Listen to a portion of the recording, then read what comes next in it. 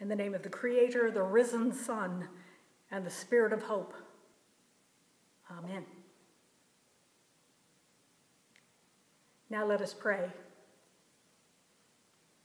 God of transformation, Christ of resurrection, Spirit of power and of grace, we praise you this day for all the ways you bless us. We thank you for being with us today, wherever we are, and always, and for reminding us of each day of your mercy ever new.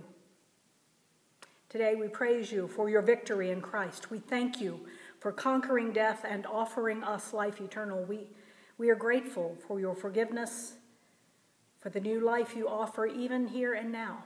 We pray, inspire us in these strange and sheltered days to find ways to praise you, ways to serve you, and ways to share your love with others. We pray, make us witnesses to your grace and glory. We ask your mercy for our world, your protection for all those who are in harm's way. We pray, bring calm to this epidemic and wisdom to our leaders and medical personnel. Bring us through this difficult time and make us aware of your presence, your mercy Help us to see your miracles and to share your story. Remind us of your joy and show us ways to be your witnesses in the world, even now, to share your grace, to speak your truth, to show your love, to serve you faithfully.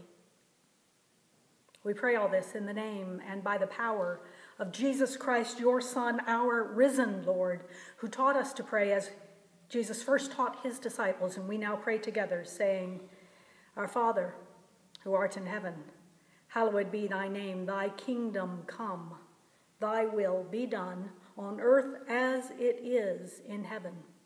Give us this day our daily bread, and forgive us our debts as we forgive our debtors. And lead us not into temptation, but deliver us from evil. For thine is the kingdom and the power and the glory forever. Amen. And now, until we meet again, live a life of resurrected hope, a life of miraculous love. May the grace of our Lord Jesus Christ, the love of God, and the fellowship of the Holy Spirit be with you now and evermore. Amen. Go in peace.